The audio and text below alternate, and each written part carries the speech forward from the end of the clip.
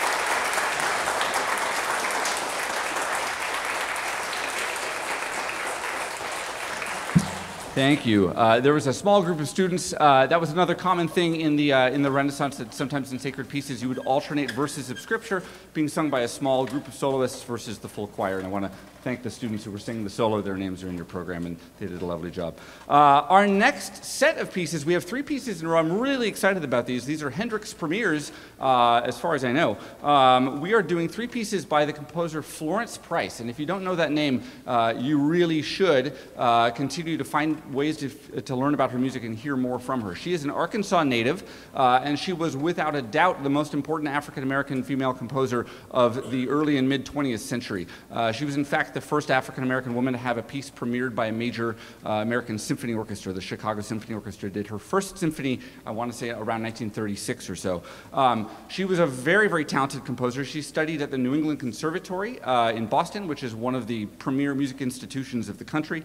Uh, and she is, uh, sadly, her music has been overlooked for decades, and only really in the last few years has there been kind of a renewed interest in her music, and people are studying it and finding manuscripts that we didn't know existed and things like that. And so, in fact, two of the pieces that we're singing uh, exist nowhere else than at the University of Arkansas Library in Fayetteville, uh, where a colleague of mine was happy enough to share, uh, share these manuscripts um, with us.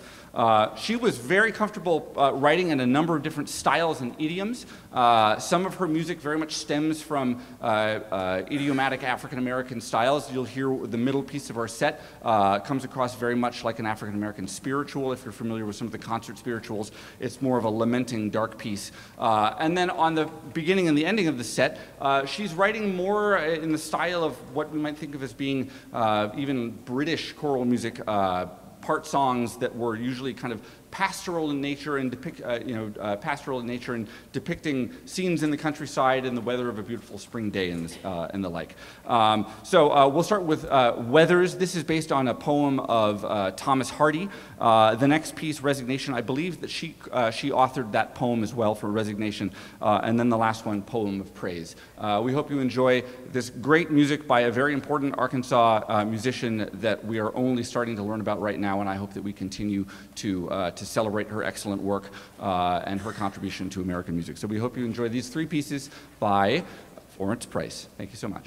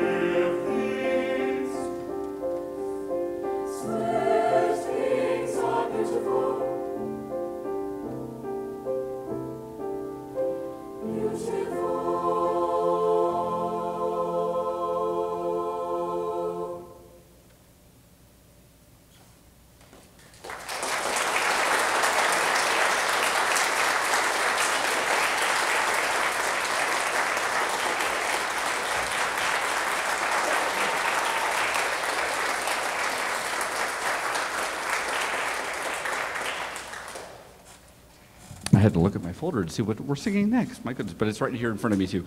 Uh, so uh, I, I, asked my students at the beginning of the semester whether they were familiar with the name Bobby McFerrin, and I can sort of see out there. I'm, I'm wondering how many of you are familiar with Bobby McFerrin. Is that name ring a bell? Yeah. So it's, it's your parents, right? A lot of them know this stuff. So when I said, you know, don't worry, be happy, they were like, oh yeah, sure, we know that. So if that's all that you know by Bobby McFerrin, uh, you really should check out more of his music. He is a, a fascinating musician and, and a real living, true American treasure uh, who has been a successful um, singer and composer and conductor. Uh, he's probably best known for his ability to sing all different voice parts. He has a massive range, and so whenever you hear a recording of one of his pieces, he's singing all of those parts. Um, he has a tremendous ear, a tremendous uh, sense of like vocal agility. His ability to jump around from voice part to voice part through a huge range is astounding. Uh, and then on top of that, he's really inventive and creative. Um, the piece that we're going to sing for you is, is probably uh, the best known of his pieces as performed by choirs. Uh, and this is his setting of the 23rd Psalm. Um, a bit of a story. I first came across this piece when I was in high school um, because my choir director at the time, who was getting married, wanted us to, us being his choir, uh, to sing this for his wedding. Uh, and of course, he was busy on stage getting married. Uh, and so we sang this without a conductor. And I entered the semester thinking, we're going to sing this without a conductor, just like I did. And I, I had loved that experience. And it really was difficult. And so about a month into uh, rehearsing or so, we, we changed direction and, and, and they asked me to, to, to conduct it and we make better music that way and uh, it, it, it, takes some pressure off them too, I think. Um, so this setting of the 23rd Psalm is, is a treasure of a piece. It's absolutely beautiful. Um, it is an interesting use of the text uh, because he changes all of the gendered pronouns to she, her. Um, and so all of the references to, to God and the Lord are referencing the mother uh, and instead of, it, of the son, to the daughter. Uh, and it, it, is a, it is a lovely piece. Uh, it's very, very serene. It's very, very peaceful and beautiful. Um, and um, uh, calming is, one, of the, one of the best words uh, that I've ever thought of to describe this. Uh, we hope you enjoy the 23rd Psalm arranged by Bobby McFerrin. Thank you so much.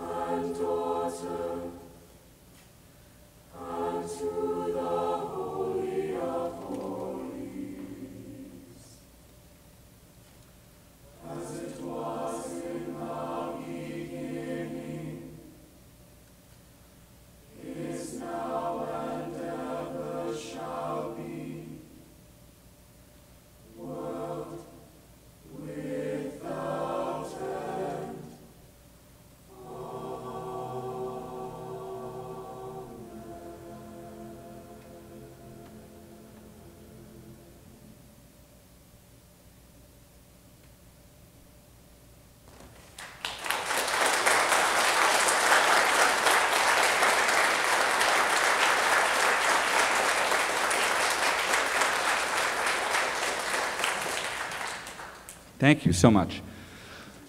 Our next piece, The Prow. Uh, this piece has, uh, uh, like everything we've done tonight, has a bit of a story behind it. Uh, not my own story. Uh, you've heard enough of that. Um, but uh, a, a, great story about a composer and a poet bonding over shared lived experiences. the Prow is by Matthew Lyon Hazard. Matthew is a Filipino-American composer and conductor. He's actually still a graduate student right now at the University of Houston, which has a, a really thriving, wonderful um, choral music program. Uh, Matthew wrote these pieces uh, based on poetry that had been written by his uh, graduate school teacher during his master's degree, Jonathan Talberg.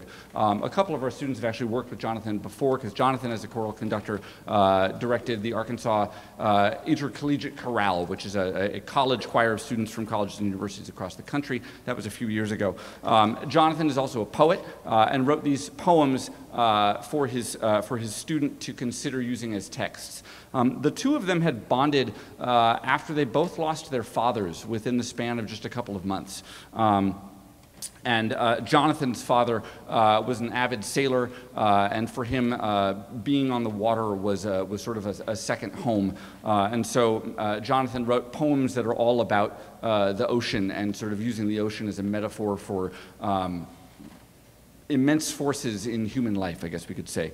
Um, Matthew then wrote this set of, of three pieces. It's called The Ocean Between Us, is all three of them uh, together. Uh, and we're doing uh, the first one, The Prow. Um, uh, I have a, a, lovely quote here from Matthew that he wrote about, about writing these pieces. Um, regarding the whole set of them, uh, The Ocean Between Us, he says, These pieces create the ocean between us. The ocean between my father and I, between, John, between John's father and his, the ocean of grief that separates us from being ourselves, and the ocean between who we were and who we are now. Through joy and through pain, Jonathan's texts serve as a reminder that we should explore while we can. Uh, this is a really vivid work of music. Uh, you'll hear a lot of use of the piano uh, and voices that's meant to, to, uh, to capture the, uh, the, the brisk nature of the wind at sea, the, the splashing of waves, the feeling of salt water spraying across your face as it hits the, uh, the prow of your boat. Um, it's a, an exciting, vivid, fun piece. Uh, we've worked very hard on it. You'll hear the choir towards the beginning of the piece making sounds that are imitating uh, waves crashing and wind blowing over the ocean surface uh, before we have the entrance of text. Uh, there's a small quartet of soloists also around the choir who are imitating the playful nature of dolphins as they crash through the waves, perhaps chasing after uh, the wake of the boat as it cuts through the water. Uh, we hope you enjoy The Prow.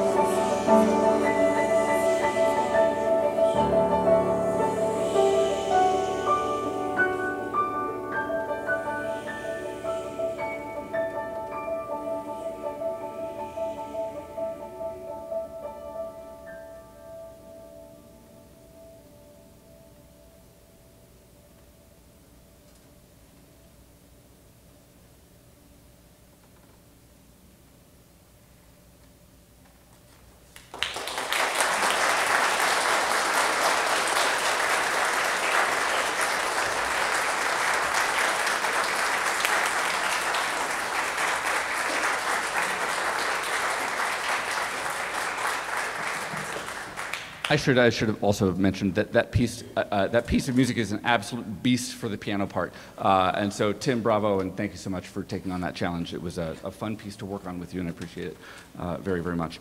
Uh, now is the portion of the program where I like to uh, introduce our choir seniors. Um, I, I, like to mention that. Um, choir and participation in any music activity at Hendrix is a big undertaking of time and energy.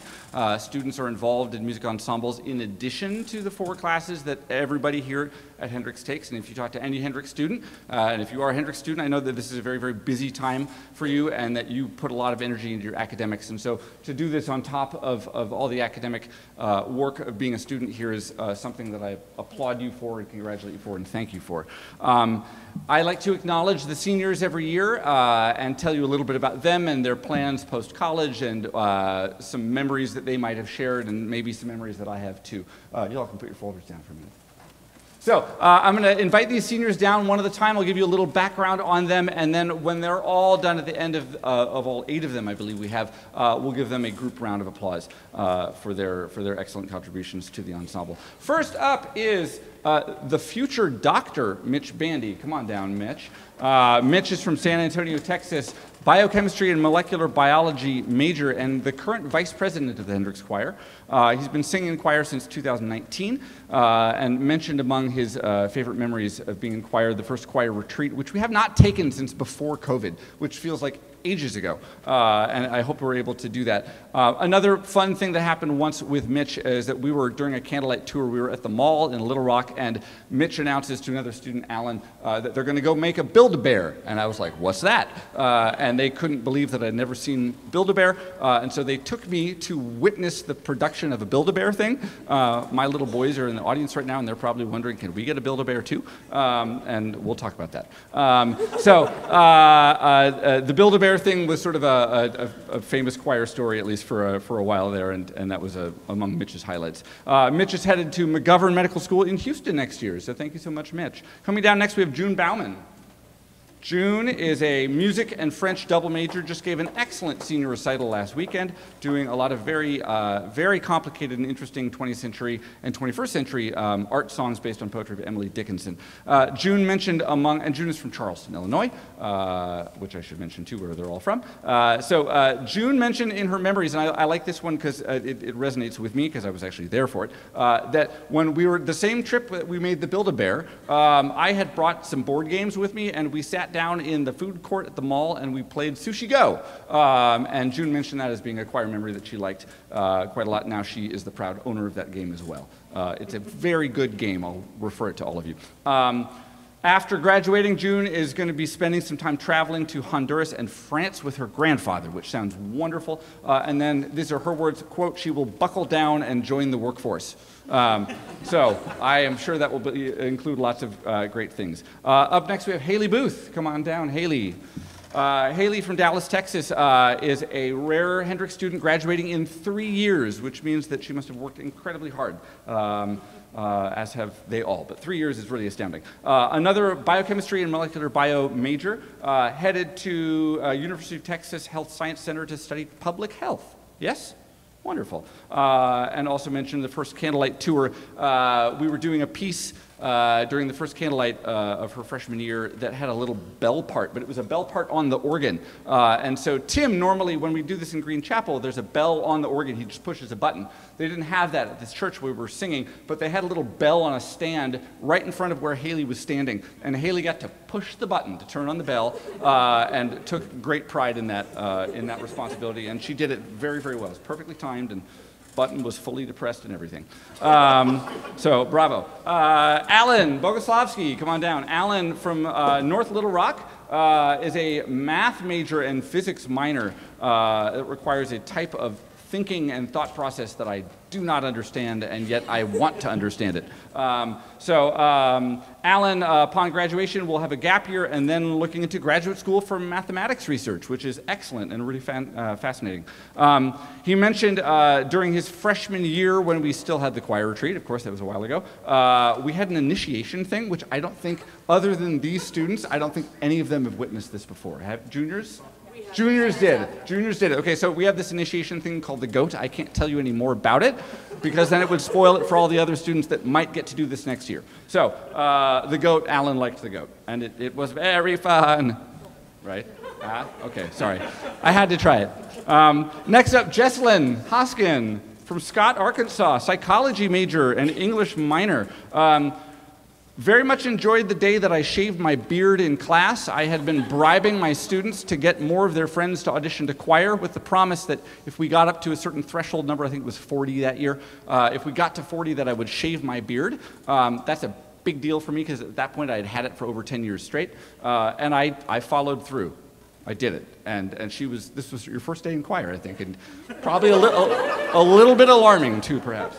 Um, uh, she also mentioned that another alum in choir, Kate Sanders, uh, had made a little, I don't know what this was, but Kate Sanders apparently made a nativity scene out of beans and an Altoid can um, as a Secret Santa gift, and uh, Jesselyn liked that quite a lot. Jesselyn is heading to Nashville to study at Lipscomb University, uh, where she'll be studying, I have to say this right, clinical mental health counseling. Excellent. Congratulations, Jesselyn. Uh, next up, we have Rose Johnson your 2021-22 choir president from Little Rock, Arkansas, biology major and philosophy minor. Um, always enjoyed candlelight and the Secret Santa gifts uh, that the choir students do over the two days that we're on the road. Uh, Rose is heading to University of Oklahoma Health Sciences Center to study biology for a PhD program. Um, that's great. Congratulations. Um, I'll also mention that June, uh, sorry, not June, Rose, June, June's here, Rose. Um, uh, Rose uh, was voted by her peers in choir as the recipient of this year's Student Recognition Award, which is an annual prize that we give in choir to a senior who's made outstanding contributions to choir over their time. Uh, and congratulations to Rose uh, for the award. Uh, next up, we have Bang Yao. Bang Yao Win uh, from Little Rock, North Little Rock, Little Rock. Little Rock. Uh, Bang Yao uh, is a chemistry major and a music minor, and I don't think that I knew that until I was doing my research for this, which is awesome. Uh, a music minor, uh, heading to pharmacy school for pharmaceutical studies next year, uh, and also mentioned Candlelight Tour as a particularly fond uh, memory. Our last senior to recognize tonight is Lily Wilson. Lily Wilson, come on down.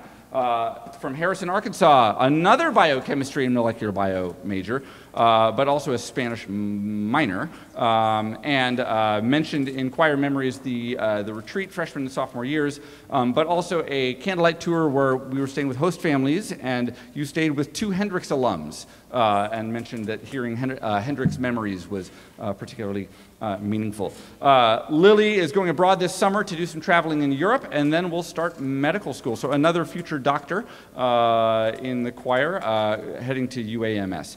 Um, let's give a nice round of applause to these seniors for their contributions.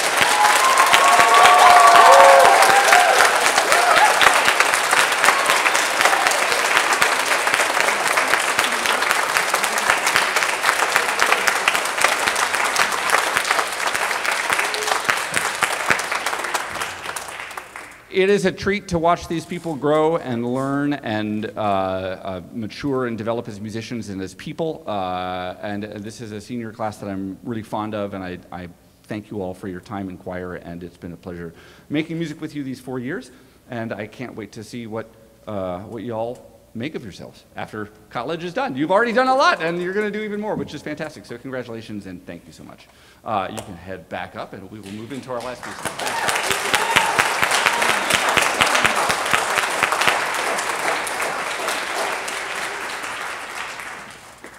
Thank you again for coming. Uh, we have one more piece to sing for you tonight. This is uh, a tune that, that many of you may know. Uh, again, it was one where I had to remind myself I'm a lot older than my students now because some of them did not know this tune. Uh, this is an arrangement of Bill Withers' classic 70s uh, R&B tune "Lovely Day," um, uh, which has always been one of my favorite pop tunes ever. It's joyful and uh, it captures sort of a, a sense of optimism, uh, waking up the morning with someone meaningful in your life, uh, and it's just a, a, a, cheerful, great pop tune. Uh, a fascinating arrangement, though. Here you're going to uh, hear this piece receiving kind of a true vocal jazz treatment. Um, this particular setting of "Lovely Day" was arranged by Blake Morgan, no relation to me. Uh, Blake Morgan is a professional singer and composer who works full time with a professional choir out of England called Voces 8. Which some of you may have heard of. They're a really awesome group that does a lot of uh, combinations of classical repertoire, but also contemporary music that they compose and arrange themselves. Uh, they actually were in Conway just a few years ago for a concert at UCA. Um, and uh, I hope you enjoy uh, this arrangement of Lovely Day. Thank you again for coming. Thank you, Tim. Uh, thank you, choir. Uh, and thank you all for coming. sorry we don't have ice cream. The band concert a couple weeks ago had ice cream afterwards. I, I, apologize for that. I apologize. Um, but I hope you have a great evening and uh, enjoy, your, uh, enjoy the rest of your night. Thank you again.